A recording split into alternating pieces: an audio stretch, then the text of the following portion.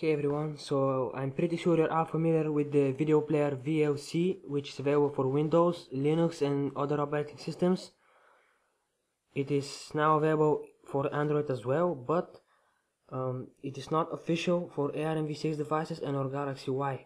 So I found this ported version online which seems compatible and seems to work quite well.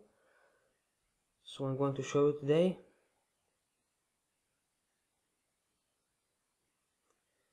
Now, at the beginning it might take a while for it to load your files.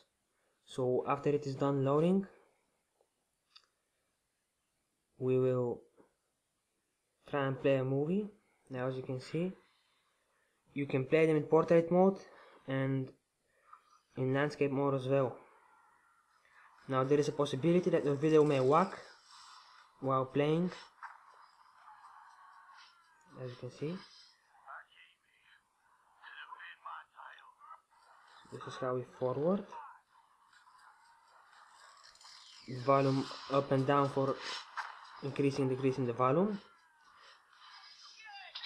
Does it seem to work like MX player where you drag to forward? But if you hold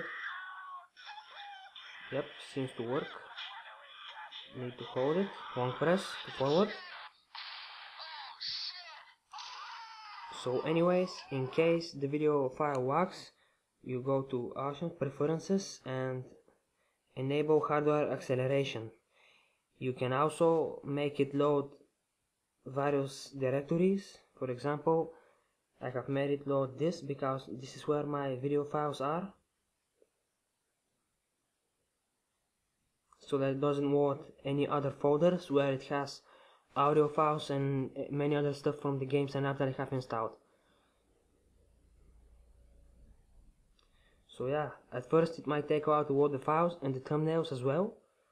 You can also play music using this.